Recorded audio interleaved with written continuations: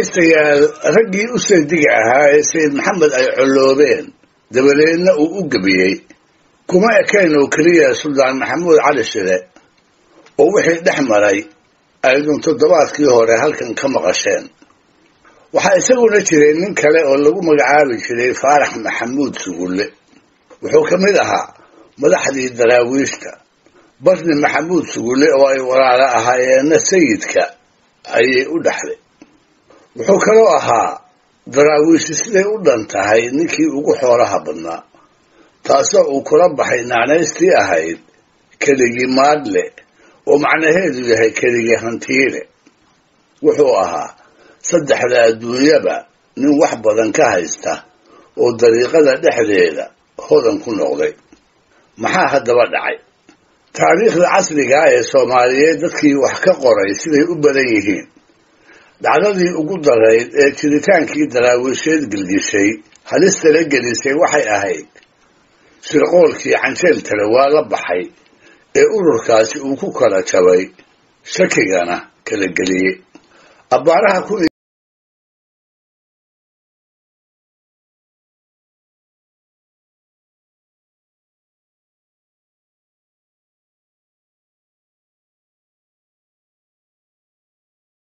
ee taleex ka horreeyey middood waa dhulkii ay ku bulaaleen oo xoolihii iyo raggiiba ay ugu bateen. Beera farashada dhulkii ay ku barteen. Ganacsigii badduna dhulkii uu ugu furmay. Waxay ahaayeen berimadii ay kaga soo kabteen kun iyo sagaal boqol iyo afartii ololihii dagaal ee ingiriisku uu ku soo qaaday iyo jabkii ciidan ee goobtii jidbaale lagu markaday ayna ku naafteen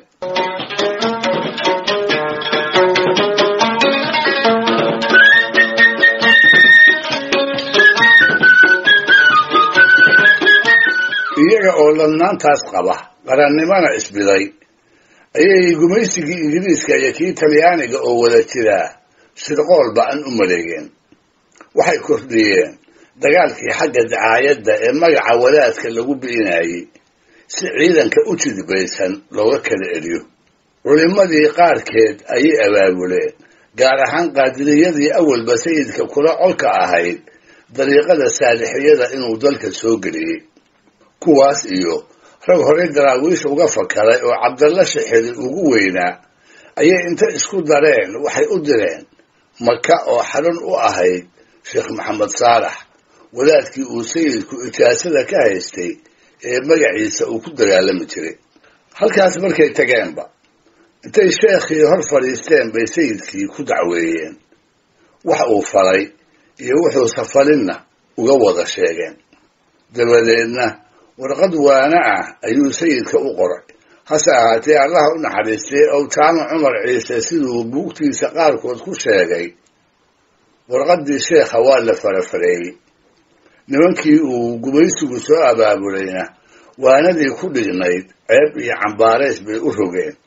Gadaalkiina xeebta ilig daldala ayay ka soo rideen sidaas bayna gacantii sayidka ku soo gashay.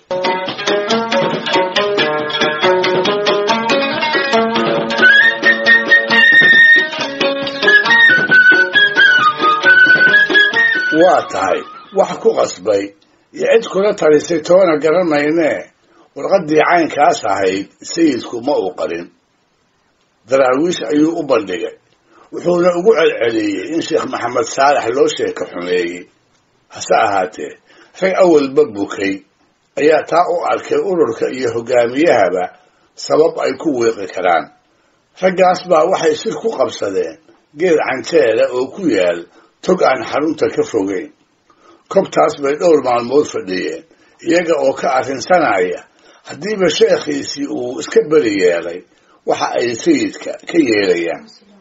Aandillo rag baa ku taliyey. Aynu meel ku xiro taladana kala wareegno kuwo kale ayaa soo jeediyey. Aan xaruntaba u bannayno oo ka wada dhaqaaqnana qaar kale ayaa yidhi.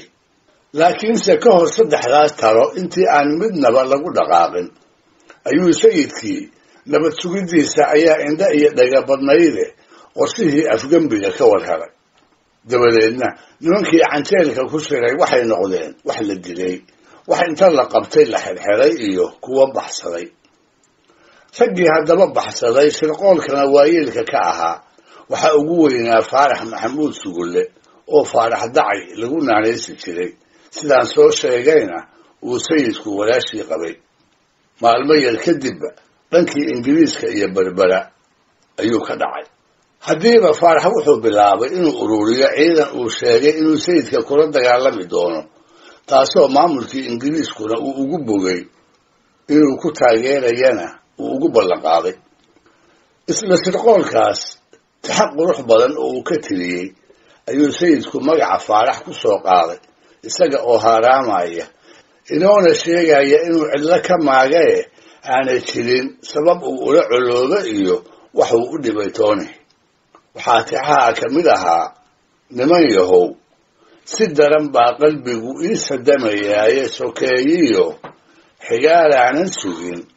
Sanada maanta ahee soomaali oo idili waysun iyo daybaaqe sullankood la naariyo gun iyo saaduqyay helaye sijidhaanadiibay khatalay saanjiga ahaaye oo waa seediyaashay waxay saatan ii galay.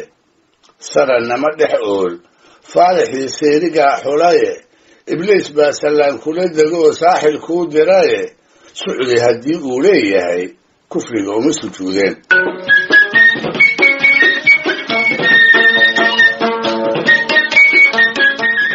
Raasadaan ceelka la yidhaahdo oo ku yaal cidhifka galbeed ee dooxada nugaaleed ayuu faarax xarun ka dhigtay.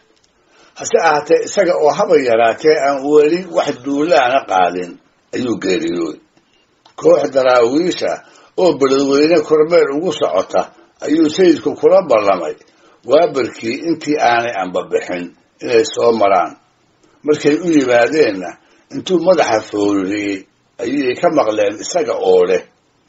Dacayow daalinkiiyow dacayow daadufkiiyow haddaad duunyoy tidhaahdo dameer eebbahay masiiyow haddaad diinay tidhaahdo waryaa eebbahay ka daahiyow. Haddaad diliday tidhaahdana lugaha eebbahay ka dabariyow dabadeedna wax kale uma uu sheegina intuu u duceeyey ayay ka dareereen. Kooxdii markay hawsheedii soo ebiday ayna soo kormeereen daarihii beledweyne ee iridda aamin iyo saldhig ayay soo noqdeen. Oo gudbo ayltoos uma ay abbaarine.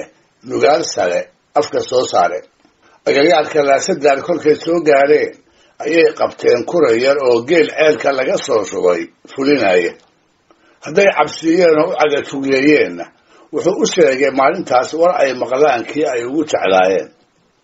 Wuxuu uga tibix siiyey faarax dacay iyo rag tiro yar oo uu isagu madax u yahay inay ceelka ku sugan yihiin markaas bay isagiina iska sii daayeen. Iyagiina xaggii ceelka u degdegeen. Wax yar kadibba waxay indhaha ku dhifteen faarax oo geed weyn halkii doonyaysan. Welina cimaamadii daraawiishtu ay madaxa ugu duuban tahay. Isna markuu arkay kooxdii oo iyagana astaamihii darwiishnimo ay ka muuqdaan ayuu booday. Waxaase dabartay cimaamadii madaxa ugu duubnayd oo inta ka dhacday lugaha isaga martay taasna odayadii daraawiisheed ee aanu soo gaartay waxay ku macnayn jireen inuu ku dhacay habaarkii la aqbalay ee sayidku uu faarax ka daba diray. Kadib markuu daraawiish ka fakaday. Si kastaba ha ahaatee maalintaas ayuu faarax geeriyooday isaga oo eersaday xabado afsaar ah oo kooxdii daraawiishta ahaydi ay la heshay isaga oo weli dhulka yaal cimaamadiina ku dabran